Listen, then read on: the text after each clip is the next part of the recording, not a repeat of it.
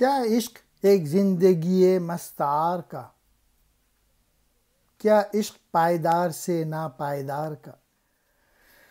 अल्लाह ताला हमेशा रहेंगे और इंसान की ज़िंदगी थोड़ी सी है।